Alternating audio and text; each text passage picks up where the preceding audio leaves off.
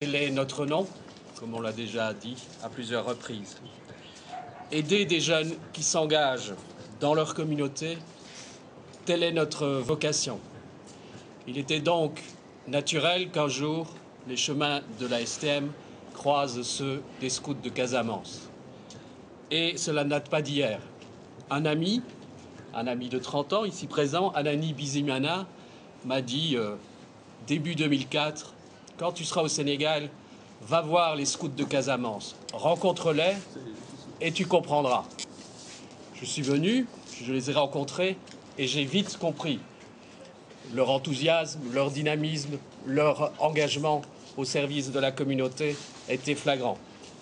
C'est donc bien naturellement que les projets qu'ils nous ont proposés, nous avons eu envie de les soutenir parce que nous voyions leur enthousiasme, leur énergie et leur efficacité. Et donc le peu de choses qu'on pouvait apporter de l'extérieur allait pouvoir se démultiplier grandement. Ainsi, un premier programme de dynamique de paix, de contribution du scoutisme à la dynamique de paix en Casamance est né. C'était euh, en 2005. Et en un an, les résultats ont été incroyables. 24 formateurs, deux formateurs qui ont été formés.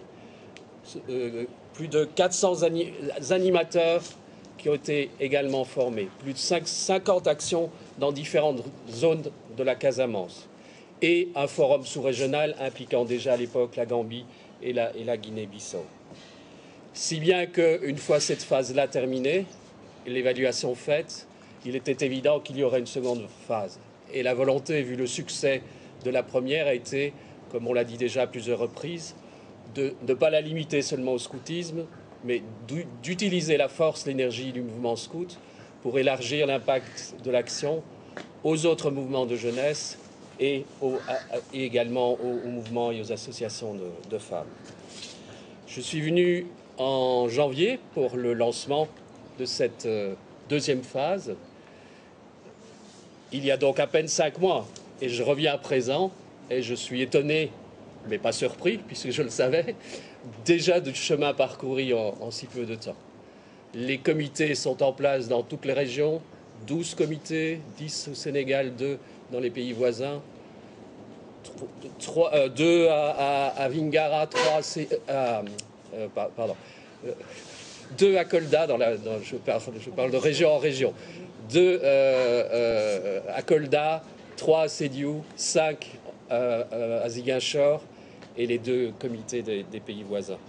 La Maison de la Paix de Ziguinchor, le local de toujours du scoutisme, mais qu'ils ont décidé d'offrir à la dynamique de paix, est en pleine rénovation, le chantier est en cours et il ne faudra pas beaucoup de mois pour qu'ensemble on aille euh, l'inaugurer euh, pour en faire une vraie infrastructure au service de cette dynamique et de, et de ce projet.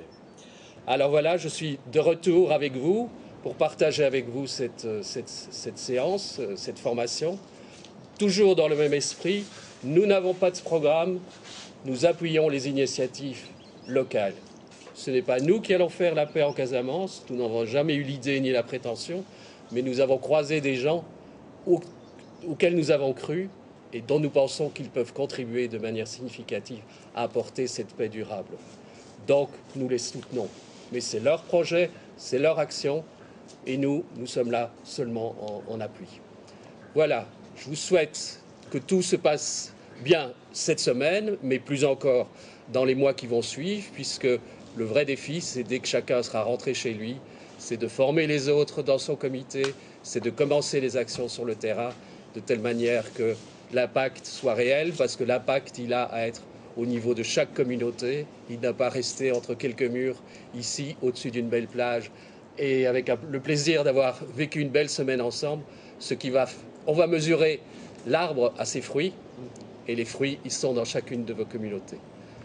Merci de votre accueil, merci de votre enthousiasme et bonne suite de programme. Je suis sûr que si je reviens dans six mois, je verrai déjà euh, les mangues mûres, même si ça n'est pas la saison à ce moment-là, mais euh, il y aura des mangues mûres dans chacune de vos communautés, même en plein hiver. voilà.